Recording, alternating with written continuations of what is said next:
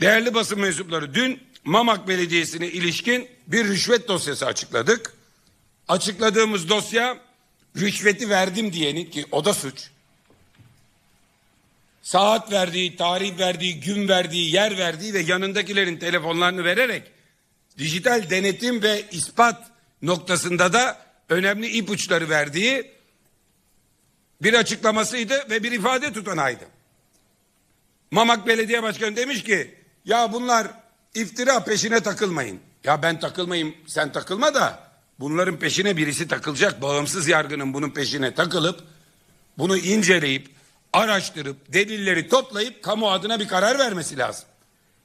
Ve bu konuda Süleyman Soylu dün de ifade ettim. CHP'li belediyeler söz konusu olduğunda kendi bakanlığının ya başkan bunu nereden bilecek aşağıdaki yolsuzluğu dediği konusunda şimdi tutum değiştiren İçişleri Bakanlığı bilir kişinin ya nereden bilsin Yalova'da Belediye Başkanlığı aşağıdaki yolsuzluğu? dediği halde görevden çektirip belediye meclisinden AK Partili seçtirdikleri veya yargının görevine devam et belediye başkanlığını yap dediği Mustafa Kayalar'a Menderes'te İçişleri Bakanlığı'nın görevden el çektirdiği bir noktada Mamak Belediye Başkanı görevden el çekmeyi bırakın Anka Park güzellemeleriyle dinozorların arasında geziyor. Ankara'nın çarçur edilmiş şeyinde. Hangi sıfatla?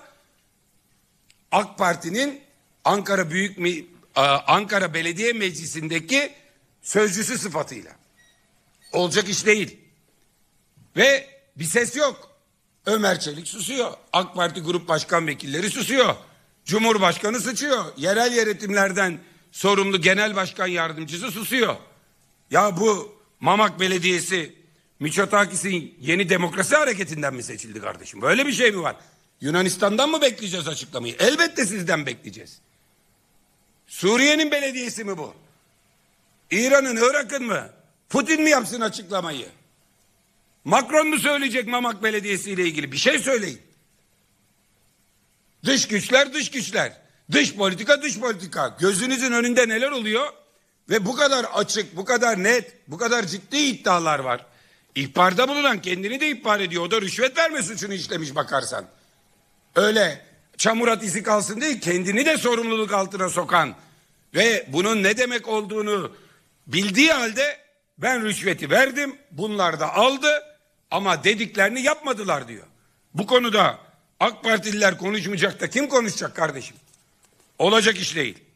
Ve biz bu işi sonuna kadar gündemde tutmaya ve sonuna kadar bu işin peşinde olmaya devam edeceğiz. Bunu böyle bilsinler.